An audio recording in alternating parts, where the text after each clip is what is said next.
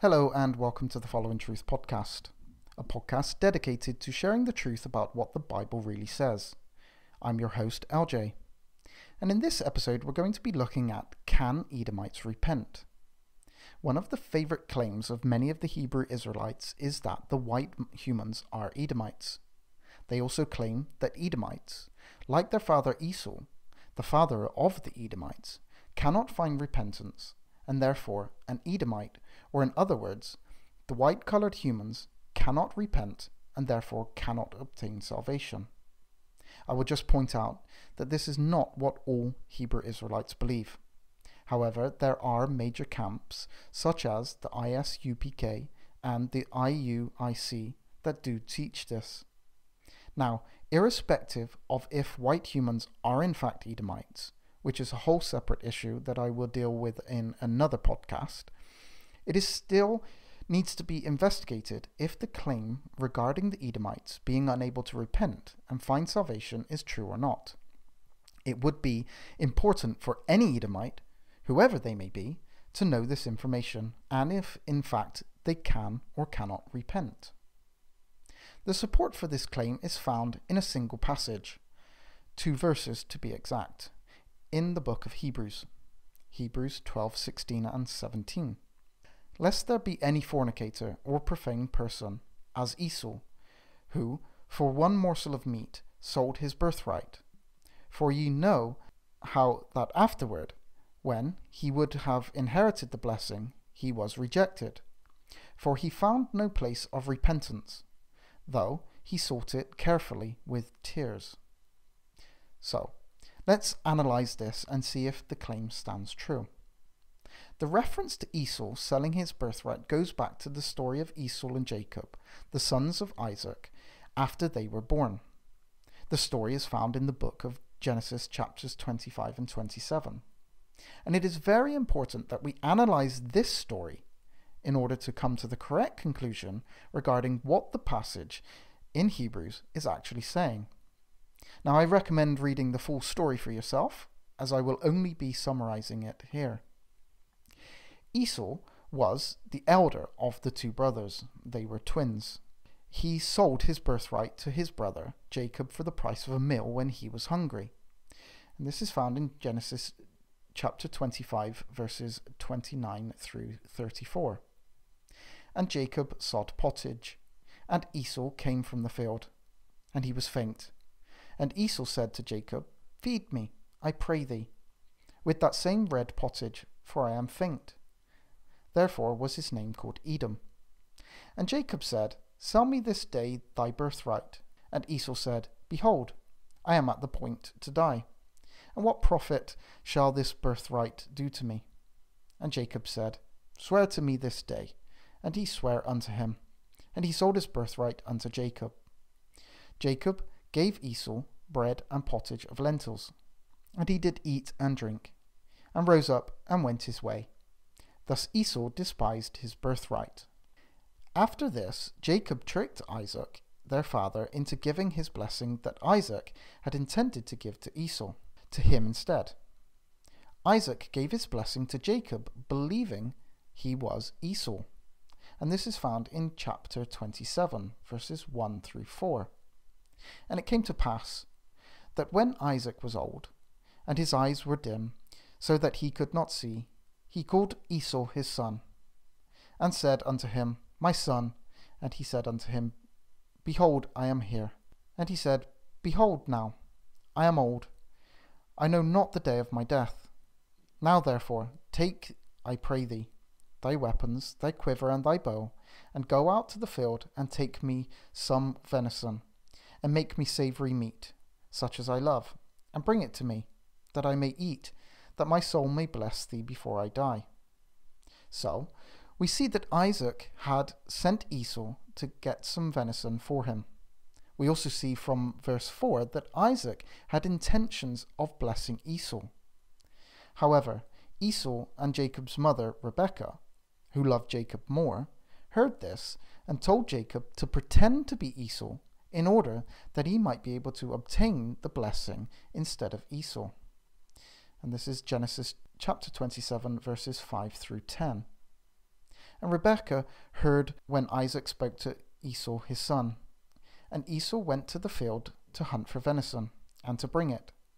And Rebekah spake unto Jacob her son, saying, Behold, I heard thy father speak unto Esau thy brother, saying, Bring me venison, and make me savoury meat, that I may eat and bless thee before the Lord before my death. Now, therefore, my son, obey my voice according to that which I command thee. Go now to the flock, and fetch me from thence two good kids of goats, and I will make them savoury meat for thy father, such as he loveth. And thou shalt bring it to thy father, and he may eat, and that he may bless thee before his death. And this is exactly what Jacob did.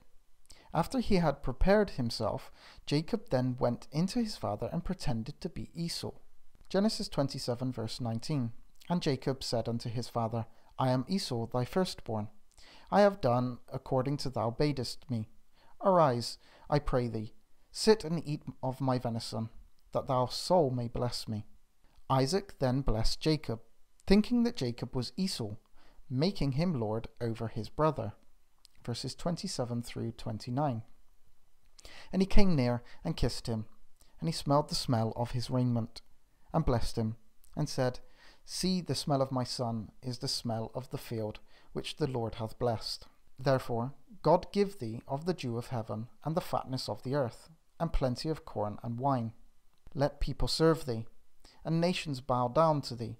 Be Lord over thy brethren, and let thy mother's sons bow down to thee. Cursed be every one that curseth thee, and blessed be he that blesseth thee. Now it is at this point that Esau returned with the venison that his father had sent him to get. But Isaac had already bestowed his blessing upon Jacob. Isaac then realized what Jacob had done.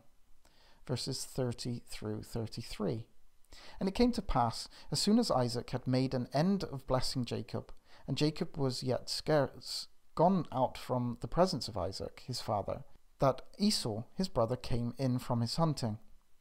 And he also had made savoury meat, and brought it unto his father, and said unto his father, Let my father arise, and eat of his son's venison, that thou Saul may bless me. And Isaac his father said unto him, Who art thou? And he said, I am thy son, thy firstborn Esau.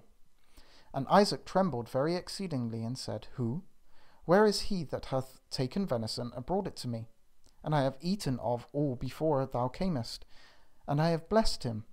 Yea, and he shall be blessed. Now, we see that Esau cried for his lost blessing, and begged his father to bless him.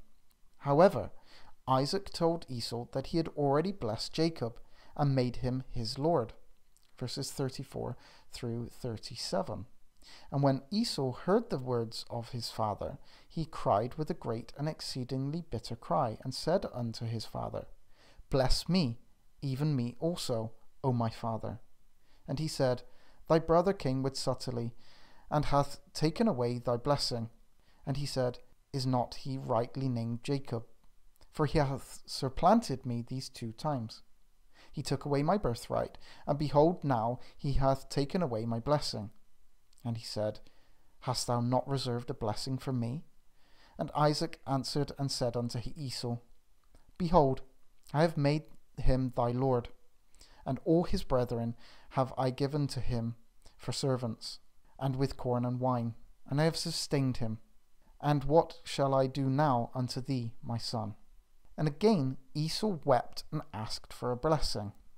Verse 38 And Esau said unto his father, Hast thou one blessing, my father? Bless me, even me also, O my father.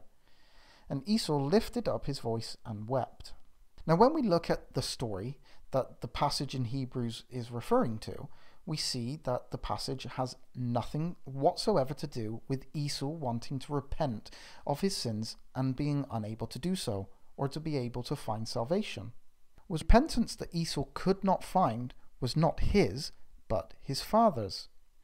Esau sought with tears his father's repentance, that he should bless him. Esau wanted his father to rescind the blessing that he had given to Jacob and to give it to him as the blessing was rightfully his. Yet his father did not recant his blessing that he had already given to Jacob. The passage says nothing about Esau's descendants and their ability, or rather inability, to repent of their sins. This is typical Hebrew Israelite tactics, taking a verse and completely twisting its actual meaning in order to push forward their false doctrine. It is also very disingenuous, seeing that they are, in fact, fully aware of the true context of this story of Esau and Jacob, as they use it when making Esau the white man. We see that back in Hebrews, the preceding context refers to a call to holiness and following peace. Without such, a man cannot see the Lord, and also a warning against bitterness. Hebrews 12:14 through 15 following peace with all men, and holiness, without which no man shall see the Lord, looking diligently lest any man fail of the grace of God, lest any root of bitterness springing up trouble you, and therefore many be defiled. Esau was bitter that his blessing had been stolen. He hated Jacob for what he had done and vowed to kill Jacob. Genesis 27:41. And Esau hated Jacob because of the blessing wherewith his father blessed him. And Esau said in his heart, The days of mourning of my father are at hand. Then will I slay my brother Jacob. The context of Hebrews is not referring to repentance of sin. So, regardless of the color of Esau and the Edomites, the passage in Hebrews says absolutely nothing in terms of whether an Edomite can repent or find salvation. Salvation is available to everyone. Thank you very much for listening to the FollowInTruth podcast. I hope the information has been useful, and I look forward to seeing you on the next one.